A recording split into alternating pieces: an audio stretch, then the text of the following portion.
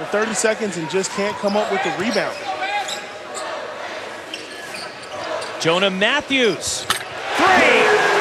The jab step, then step back and nailed it. Stanford needs a three to tie.